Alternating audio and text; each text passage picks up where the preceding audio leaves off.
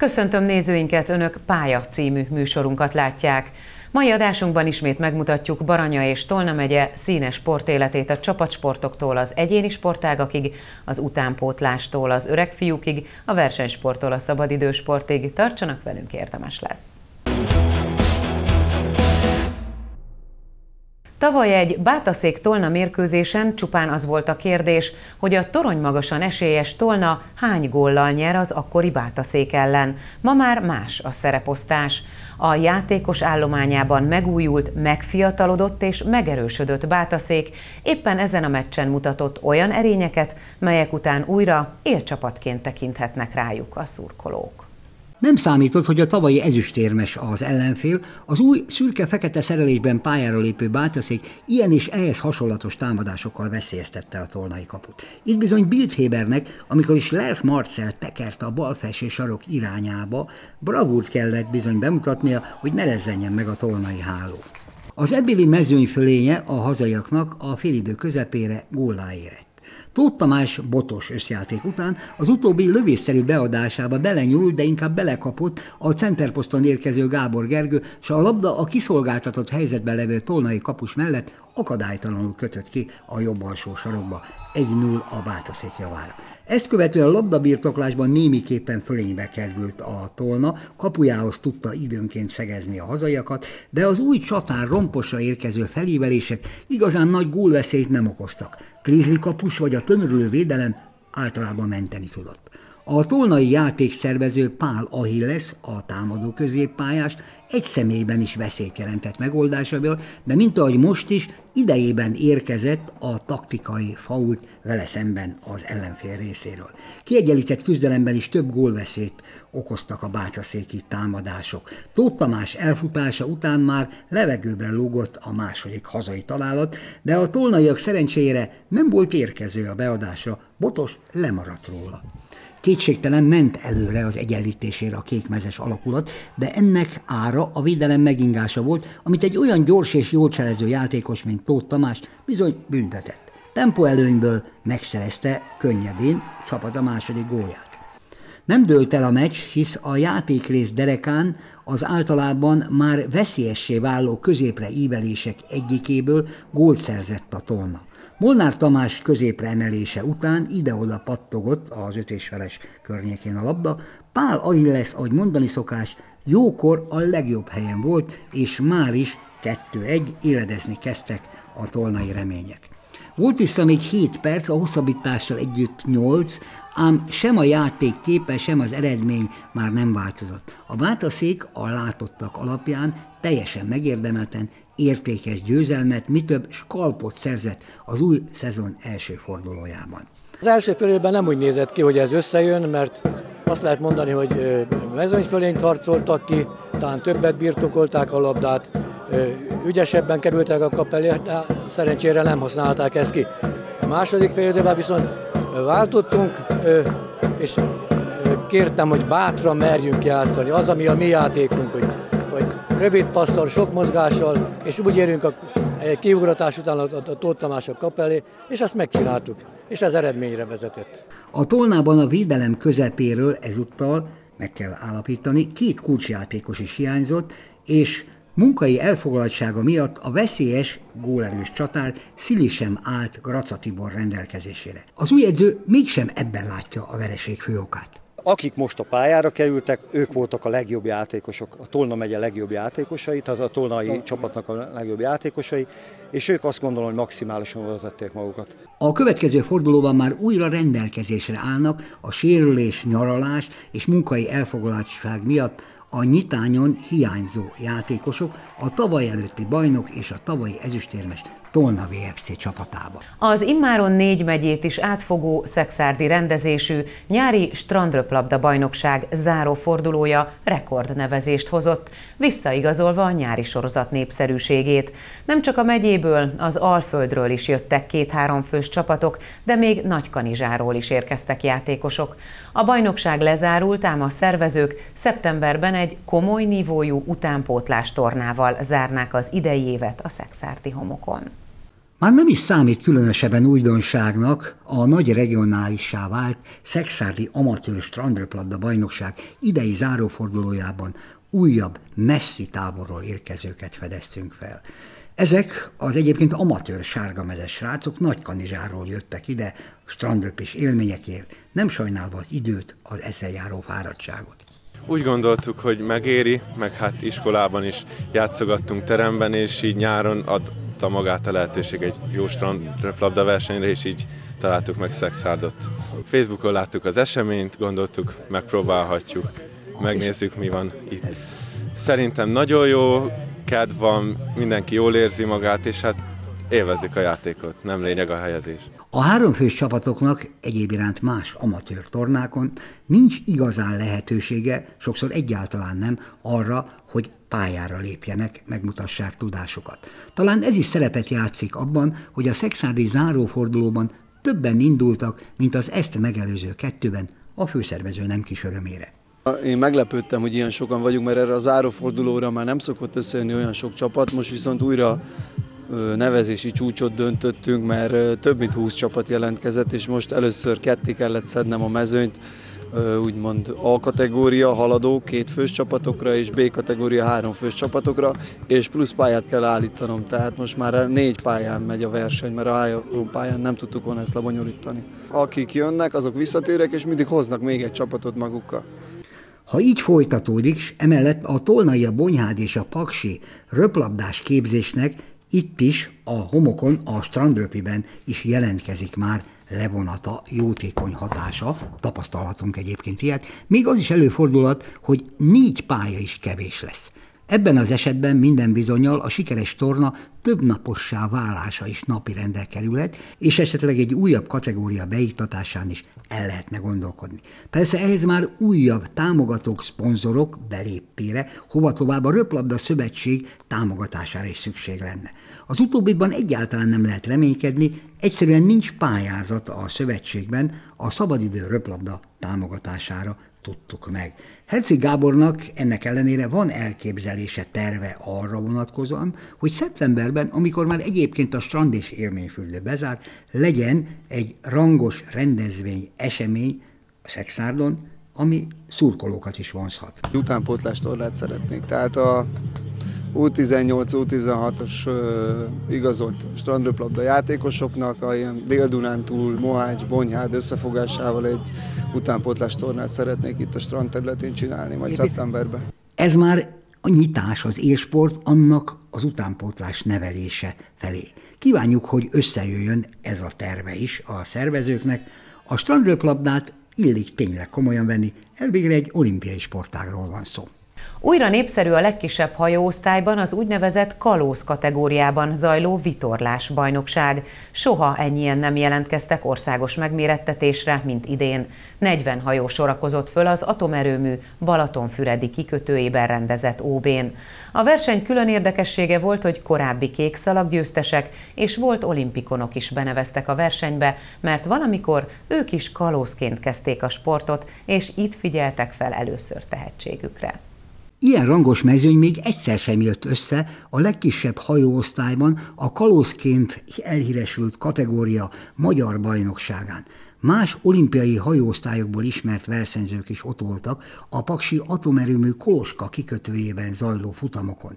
Jelzésértékű, akár a többszörös kékszallag győztes Litkei Farkas, vagy a 470-es géposztályban aténi olimpikonunk Vörös Márta, vagy azok a szintén ide benevező egykori kiváló versenyzők, akik például pályafutásuk csúcsán Szóling világbajnokságon is részt vettek, most is nagyon szeretik ezt a sportágat, és annó ők is a kalóz hajóosztályban kezdtek, így figyeltek fel rájuk a sportágban. Maga a kalóz országos bajnokság az, azért megtiszteltetés az Atomi Sport Egyesület vitorlásklubjának, hogy megrendezhetjük adott esetben az OB-t, ami most egy nagyon népes mezőnyel, 40 hajóegysége indult el, amiben olimpikonok vannak, tehát olyan neves vitorlázók, akik eljöttek ide hozzánk. 470 findingi, lézer, minden? Tehát több hajóosztályban megmérették már magukat, és igazából most is látszik, hogy hát nagyon jól tudnak vitorlázni. A másik, ha úgy tetszik, nagy ágyúnak,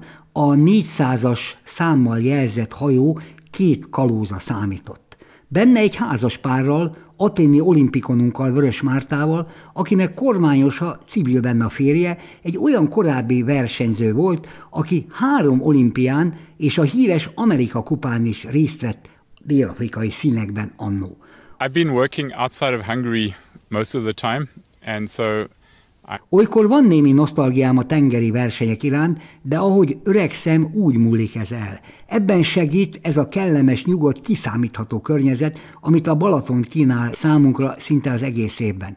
Azután, hogy visszavonultam az aktív versenyzéstől, és hobbista vagyok, ehhez szinte tökéletes hely a Balaton, mondta Ainsley Jan érdeklődésünkre. Um, but, uh...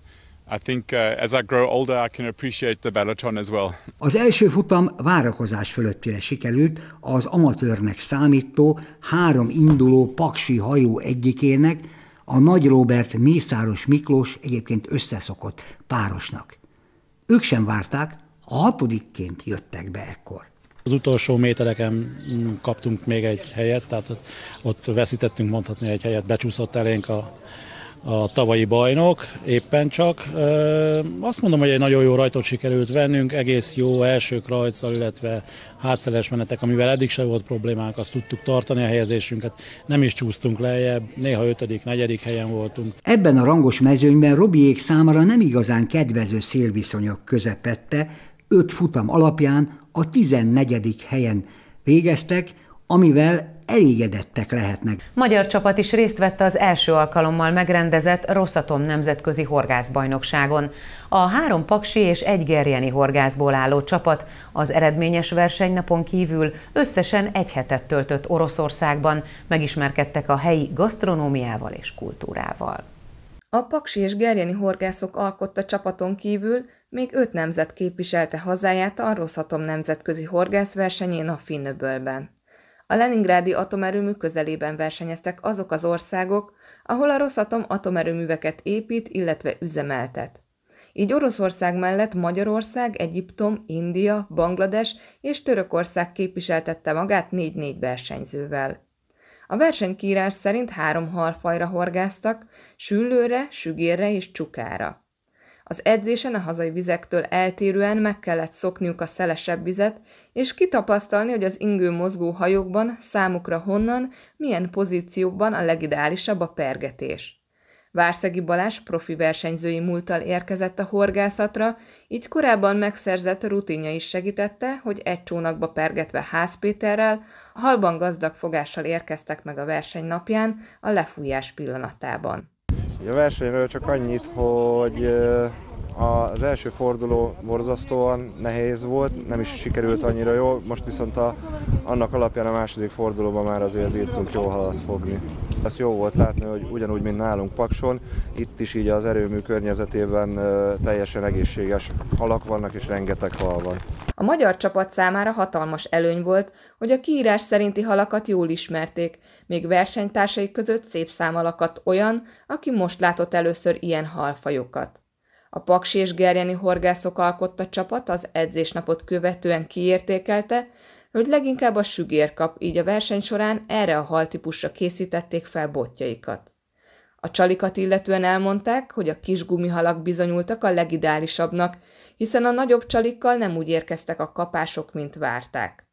A verseny napján is szinte végig csak az igazán kicsi gumihalakkal pergettek. Meg is lett az eredménye, hiszen az ünnepi vacsorán kihirdetett legtöbb halatfogó horgász különdíját a Paksi Ken Ferenc hozta el. Összesen 26 fogast és sügért emelt ki a vízből a két fordulóból álló verseny során.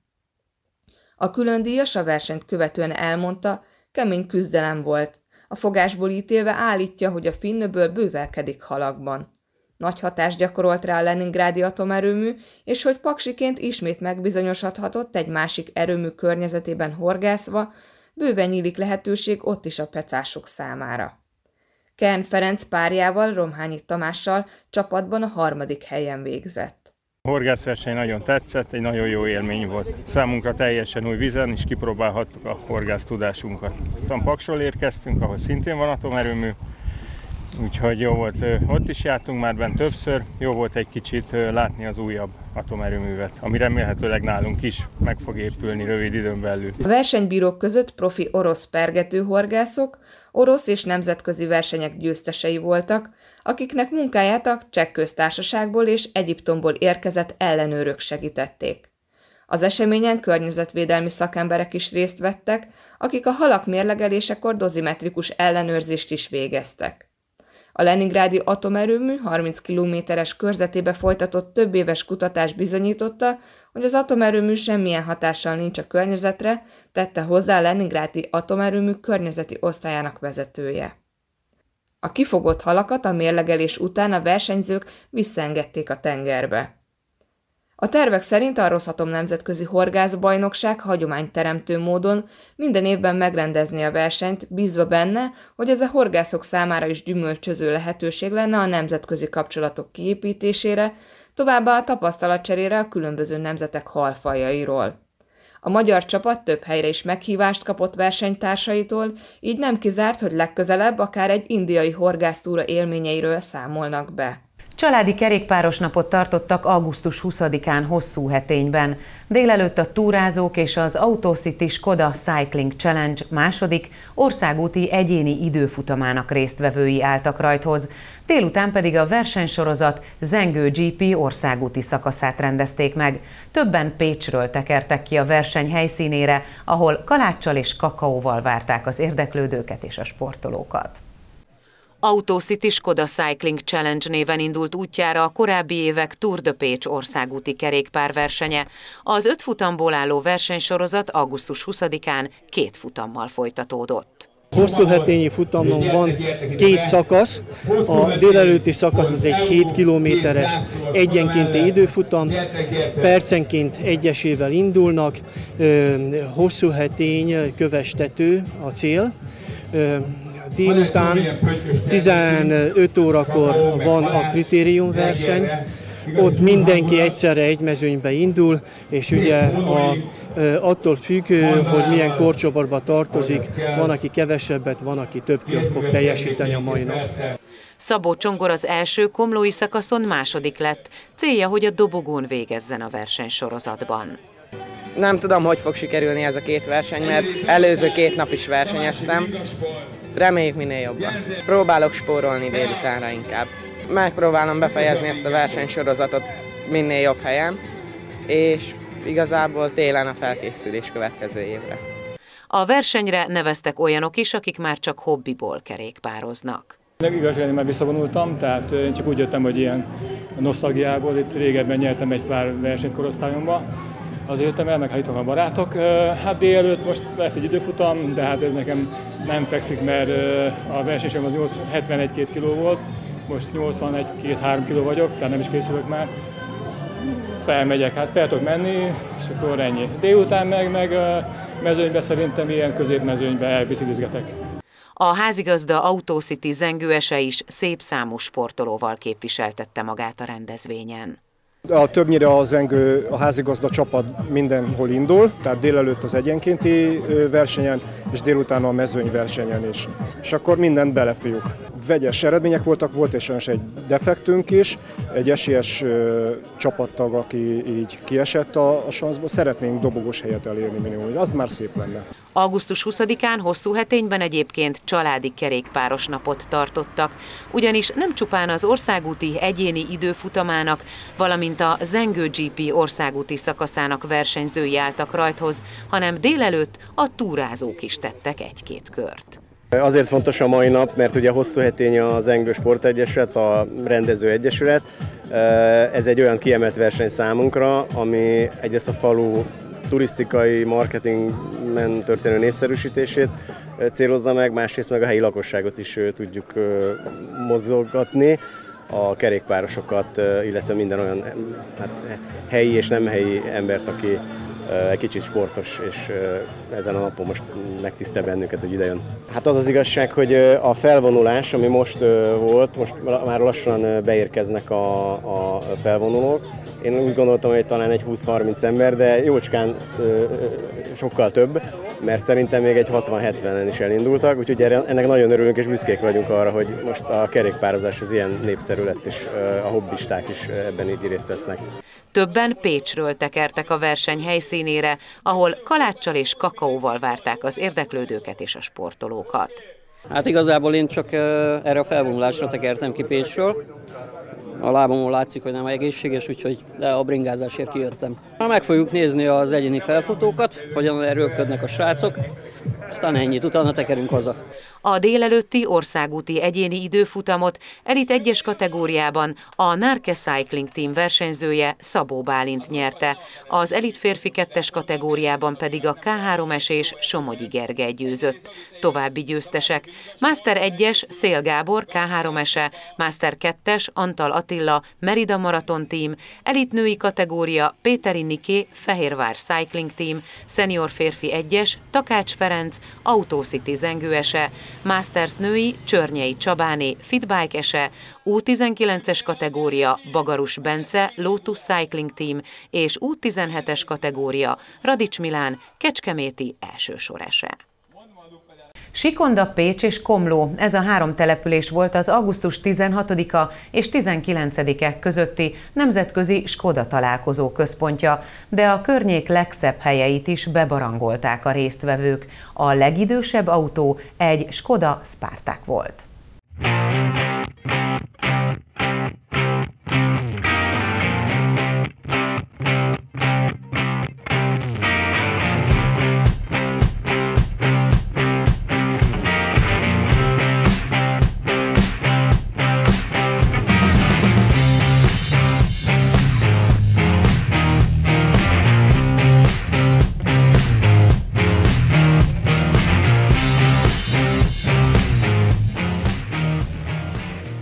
Több mint 80 autó, köztük egy 1958-as modell is begördült az Expo Centerbe vasárnap.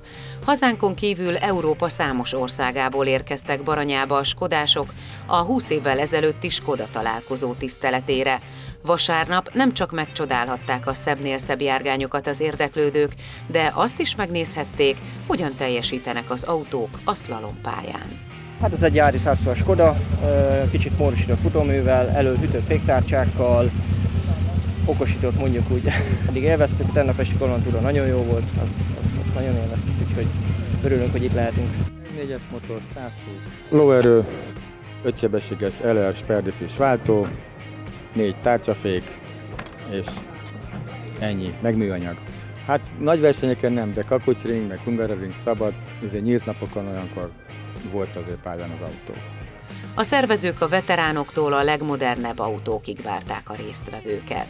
Ugye pénteken kezdődött a találkozónk, akkor egy csapatversenyes, főzőversenyes, ilyen utcaváló hangulatot varázsoltunk a Sikondai kempingbe. Tegnap pedig egy Varanya megyei túrán vettünk részt, ami a megye legszebb helyein, a mecsekben, illetve a Szászvári vár környékén zajlott. Este pedig 10 órakor az úgynevezett éjszakai autós kalantúra kezdődött, aminek nagyon nagy sikere volt, rengetegen indultak rajta, és nagyon sokan el is tévedtek. 1958-ból van egy Spartakunk, egy sötét-zöld színű, az ami nagyon szép állapotú, oldtimer vizsgával rendelkezik. Ezen kívül még 87 Skoda jelent meg, azt, hogy hány tagunk van, vagy hány részvevőnk van, azt nem tudom, mert ez folyamatosan változik, de, de 100 fő fölött van. A vasárnapi extra Skoda napon, a versenyen és bemutatón kívül volt még tesztvezetés is. Hétfőn Komlón, a Városház téren zárult a program.